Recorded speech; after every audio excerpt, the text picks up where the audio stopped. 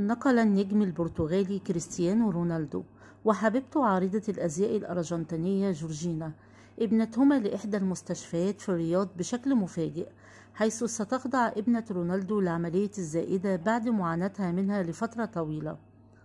ظهر الثنائي داخل غرفة في المستشفى مرتديان البلطو المعقم ويقفان بجوار سرير تستلقي عليه ابنتهما وبجانبهما الطبيب.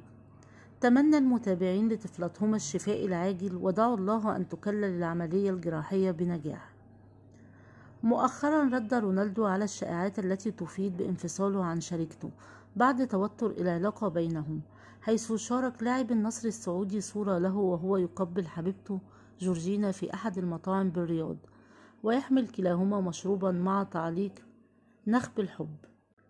شاركت جورجينا مؤخرا عبر خاصية story على تطبيق إنستجرام.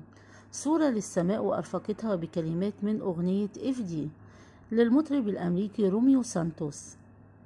وعلقت على الصورة قائلة الحسد يولد الإشاعة. وبعدها ينتشر القيل والقال والأحمق من يصدق ذلك. بدورها أفادت صحيفة ديلي ميل البريطانية إن جورجينا لا تعلق على مثل هذه الشائعات. لكن خرجت هذه الفترة لتنفي ما يتم تداوله.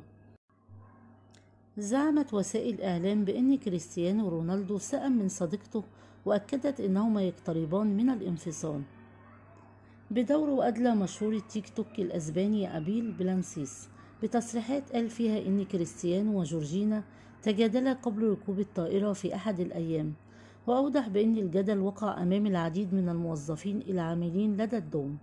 وأكد بأنه لم يتحدث إحداهما مع جورجينا خلال الرحلة بالإضافة إلى عدم تحدثها مع رونالدو.